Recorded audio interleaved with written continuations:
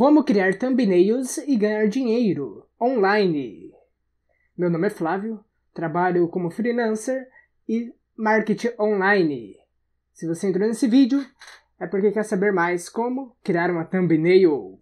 Vou começar nesse vídeo uma thumbnail básica e a partir dos próximos vídeos vou fazer uma thumbnail mais avançada. Então, como ganhar dinheiro online é, usando as thumbnails, criando thumbnails. O primeiro passo é você saber onde está o seu cliente. No caso, né, vamos usar é, canais de YouTube onde tem thumbnails que a pessoa possa estar tá buscando. Tem diversas formas de encontrar esse cliente. Então, ter em mãos um portfólio, você já ter algumas thumbnails de exemplo para mostrar para o seu cliente, é uma ótima opção. Você já tem que ter pronto para a pessoa saber exatamente qual o seu estilo de criação. Então, a atividade na prática, você vai ter que aprender a criar thumbnail, caso você não saiba. Fica comigo nesse vídeo, eu vou estar te ensinando até o final uma thumbnail que já fica numa qualidade muito boa, usando uma ferramenta gratuita. A partir dos próximos vídeos, eu vou estar utilizando ferramentas mais complexas, como o Photoshop.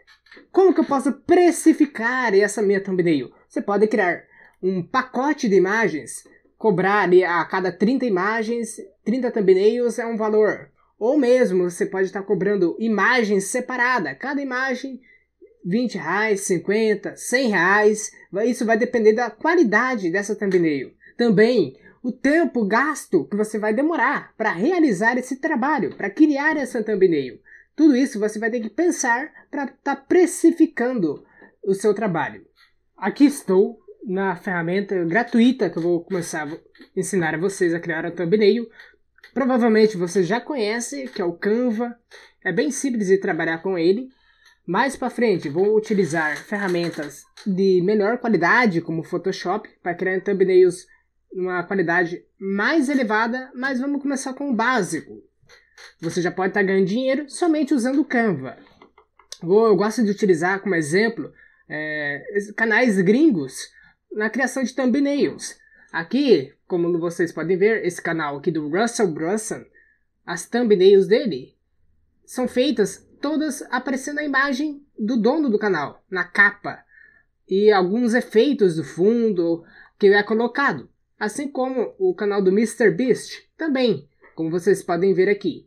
São capas, imagens que vão chamar a atenção da pessoa que estiver rodando pela plataforma ela vai ver uma capa dessa e vai ser chamada a atenção. Ela vai acabar clicando.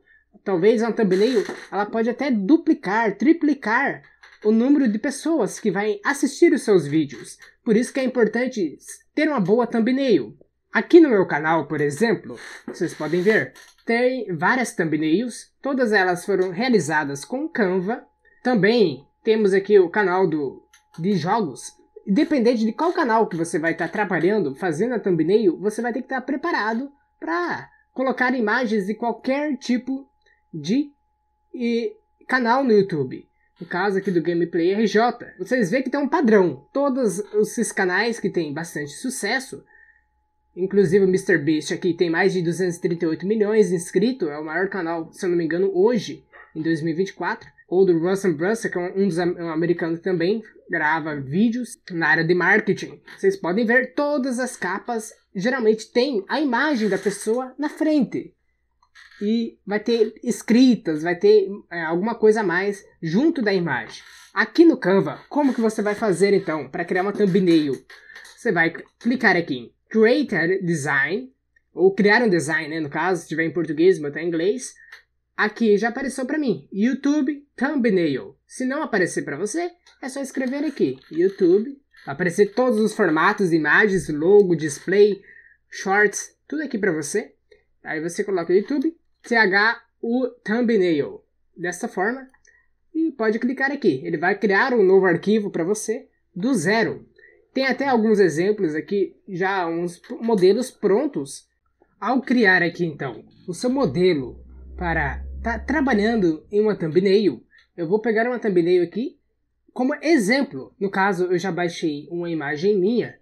Vocês podem ter a imagem de vocês. Vocês entrem nesse site aqui, remove.bg, e remove espaço BG. Vai ser esse primeiro link aqui. Aqui nesse site vocês vão pegar uma imagem de vocês. Caso vocês vão fazer a thumbnail para algum terceiro, para algum youtuber, vocês pegam a imagem sem o fundo, joga ela aqui, ele já vai tirar o fundo automaticamente. Retirou o fundo, às vezes pode ficar algum defeito, igual essa aqui, ficou aparecendo na mesa. Vocês cliquem para editar a imagem, conforme for necessário. Só seleciona a parte que vocês querem retirar da imagem que não funcionou, caso aconteça. No caso aqui, ele vai tirar automaticamente. Tirou, você clica em concluído e faz o download. Peguem a imagem e joga ela aqui. Ela vai vir para cá, é só você selecionar ela. Vai estar tá aqui já. Temos vários modelos prontos de thumbnails. Como vocês podem ver, eu posso pegar qualquer um desses aqui apenas para nós iniciar a criação dessa thumbnail. Peguei esse modelo. Vocês podem deletar essa imagem, pode pegar a imagem que vocês acabaram de subir do youtuber que vocês estão trabalhando, pode ampliar essa imagem, deixá-la num tamanho bem visível, como vocês podem ver aqui o Russell. Russell, por exemplo, é feito um modelo em volta dessa imagem, uma, uma borda branca em volta. Esse fundo aqui eu posso estar tá alterando de cor, eu vou deixar aqui branco por enquanto. Aumentem o máximo que conseguirem. Tem que chamar a atenção de quem estiver passando ali pela aba do YouTube. Vou puxar para o lado aqui essas letras, esses símbolos. Eu só estou puxando a minha imagem ali para poder trabalhar nisso aqui. Após vocês encaixarem, você pode até reduzir aqui e configurar a imagem para ficar o melhor possível. Vamos trabalhar como se fosse uma thumbnail estilo essa daqui, por exemplo, do Russell Brunson. O próximo nível é o que está escrito aqui no caso, né? Na capa. The next level. Eu vou escrever em português. Ele, se vocês podem ver, eu vou usar só como exemplo essa essa capa aqui dele. Tem ali duas letras, dois textos em cima e a do meio, que é o próximo, ele está com uma seta. Vou colocar essa seta aqui também. Posso descer aqui. Vou usar só esse modelo aqui como exemplo. Eu posso retirar esse efeito. Apaguei as outras, seleciono essa. Posso deixar um pouquinho de lado, igual já está. Vem aqui em Efeitos, Effects. Retira esse efeito aqui. Eu posso pôr apenas a letra. Seleciona esse último aqui, o Lift. Aumenta a intensidade. Não era aqui em Shadow não. Shadow é sombra. Essa letra aqui eu posso aumentar ela de tamanho. Eu posso escrever aqui a letra O, caixa alta, como podem ver aqui. Ficou pequeno, ficou muito pequena essa, essa letra aqui. Então eu vou aumentar ela. Posso puxar aqui para o lado e aumentar aqui. O, bem grande mesmo para chamar atenção. Ctrl C, Ctrl V, ou vocês cliquem em cima da imagem, da letra, botão direito e vem aqui, copy. Depois clica no botão direito novamente e paste, que é colar, né? De vocês vai ter em português. Aqui vou escrever próximo, tudo em caixa alta, para chamar atenção. Próximo. Como a letra está grande ela desceu para baixo, eu vou reduzir o tamanho. Vou colocar em 50. Puxo para o lado. Agora sim, eu posso configurar. Aumenta aqui um pouquinho assim. O próximo, posso chegar até perto da minha imagem. Reduz um pouco. Assim. Eu estou usando isso aqui apenas como exemplo, mas eu posso fazer outros estilos de thumbnail como essas daqui embaixo. Aqui eu quero tirar esse efeito que eu coloquei, eu vou deixar esse de sombra. Ah, ele não está aparecendo. Eu posso colocar igual ele fez aqui, deixou em cor preta.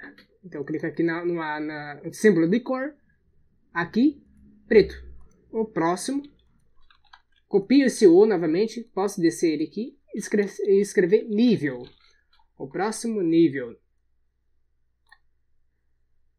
Aqui eu posso até deixar o nível desse tamanho mesmo. Com esse efeito. O próximo, então eu quero colocar uma seta. Como que eu vou fazer? Aqui tem elementos aqui no Canva. Elementos. Você pode simplesmente selecionar o elemento que você quiser. Se você escrever aqui seta, ele vai dar alguns exemplos de setas prontas, mas você pode criar a sua seta. Aqui nos elementos, eu vou clicar nessa aqui, ó. já é uma setinha pronta, porém ela está muito pequena. Eu quero aumentar essa largura dela. Então eu clico aqui nesse, selecionei ela, venho aqui em cima, no estilo da linha, e posso ampliar aqui embaixo, ó, até ela ficar o mais larga possível. Dessa forma assim. Agora aqui eu posso aumentar de tamanho. Posso puxar aqui para o lado, assim. Agora eu mudo e vou descer aqui para baixo. Coloco em cima da letra. Vamos ver se é possível aumentar mais. Não é possível. Agora, essa seta, eu vou ter que mandar, colocar ela para trás da minha letra. Eu coloco aqui backward, eu clico aqui em posição, backward. Ou se tiver em português o seu, vai estar tá em para trás, né? Ou para frente, forward. Vou mandar então, essa seta para trás, igual eu fiz aqui. Esse nível eu posso subir. O próximo, a seta, como ela está em cor preta, eu posso mudar a cor. Fazer igual o Russell fez lá, ele colocou em amarelo. Você clica aqui nesse, nessa caixinha, cor da linha, né? Vou colocar em um amarelo aqui. Esse próximo eu posso estar reduzindo um pouco o tamanho da escrita, porque já está sendo destacado através da seta. O nível posso reduzir também, o O também um pouquinho. Isso. Aqui você vai trabalhando nesses efeitos. O próximo nível já ficou interessante, não? Porém, eu quero colocar uma imagem de fundo. O que, que eu posso fazer? Aqui no Google, você vai escrever Pixabay. Existem outros sites de imagens gratuitas, mas o Pixabay é um dos que eu uso. Ao entrar nesse primeiro link aqui, vai entrar nesse site, tem imagens que você pode usar gratuitamente, porém você tem que ler as licenças de uso. Geralmente você pode usar para criação de conteúdo, para edição de vídeos, mas você não pode utilizar para vender essa imagem, por exemplo. Aí é proibido. No caso, você vem aqui em todas as imagens, vamos escrever que eu quero um uma casa, como vocês podem ver aqui no Russell, tem uma casa ali de fundo ali, mesmo que esteja embaçada a imagem. Aqui vocês vão escrever então house em inglês, que é uma casa, ou pode escrever em português mesmo, casa. Ele vai puxar para você imagens gratuitas. Temos várias aqui, várias. Oh, vou clicar nesse aqui, por exemplo. Aí eu clico aqui em editar imagens, já pode vir direto para o Canva. Mas eu não quero isso, eu quero baixar a imagem. Clique em download, em download.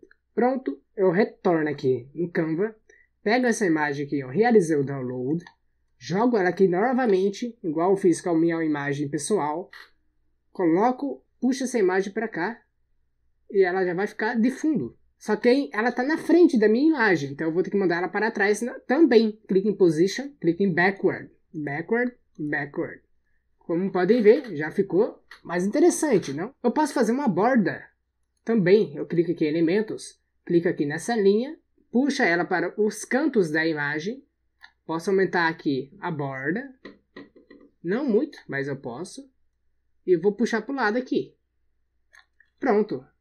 Eu faço Ctrl C, Ctrl V, ou copio e colo com o botão direito. E eu vou descer ela em todos os cantos. Fazer uma cópia de cada uma. Inclusive eu posso girar ela, ó. Deixo em 90 graus, que ela fique em pé. E puxo para o lado. Aqui, Ctrl C, Ctrl V, puxo para o outro lado. Agora a minha imagem eu posso mandar ela para frente. Se vocês perceberem, a borda ficou comendo a minha imagem. Então, eu clico na minha imagem, clico em Position, em position que é a posição, Forward, que é para frente, pronto. O que, que falta? Eu realmente embaçar, eu posso embaçar essa imagem do fundo. Tem várias formas de eu embaçar. Eu posso pegar a própria imagem em Uploads, pegar a própria imagem que eu já subi, fechar ela por cima de tudo, Posso puxar ela um pouco para o lado. Aqui eu coloco a posição backward até ela ficar somente em cima da imagem do fundo. Assim. Pronto. Agora eu venho aqui em transparência. Vou reduzindo aqui essa transparência. Pode ver que ela meio que embaçou. Ela ficou duas imagens, uma em cima da outra. Embaçada. É, isso, é esse efeito que eu queria colocar nessa thumbnail. Inclusive, eu posso até mudar de cor se eu quiser. Eu clico aqui e venho. Ah, não quero mais essa cor. Eu quero um azul. Ou eu quero um branco para chamar mais atenção. Eu posso mudar todas as cores que estão dessa em amarelo para branco. É só clicar aqui embaixo. Change it all. Mudar todas, né? Alterar todas. Ó, como vocês podem ver. Ah, eu não quero minha seta de branco, eu quero minha seta amarela. Então você volta, coloca em amarelo. Se colocar uma imagem de uma melhor qualidade, vai melhorar essa thumbnail. Eu posso estar duplicando aqui, ó. Deletes aqui, dupliquei a cópia, copiei, né? Fiz uma cópia. Aqui, ó, coloquei outra imagem minha. Se eu clicar aqui para visualizar ela, ela já ficou na qualidade melhor, né? O próximo nível. É basicamente isso. Peça uma qualidade boa para a pessoa que está produzindo o canal, para que possa fazer uma thumbnail de alta qualidade. Com a thumbnail pronta, como que vamos fazer para baixar ela e entregar para o nosso cliente? Você vai simplesmente clicar em Share, Download, seleciona as imagens que você quer baixar. Aqui, o formato pode ser em PNG mesmo, clique em Download. Após você baixar essa imagem, você já tem ela em mãos para mandar para o cliente. Então é isso, o vídeo vai ficando por aqui. O que eu espero ter ajudado vocês a criar uma thumbnail do básico. O mais avançado eu vou estar ensinando através de outras ferramentas, como o Photoshop, nos próximos vídeos. Se você já sabe criar thumbnail, me acompanhe aí que vamos estar em busca do cliente. Já postei duas aulas, a primeira aula e a segunda aula, que deve estar aparecendo aí na tela para vocês. E também eu vou postar a terceira aula. Nós já vai estar capturando o cliente na busca de conseguir pessoas para estar tá vendendo as nossas imagens, as nossas thumbnails. É isso. Até a próxima!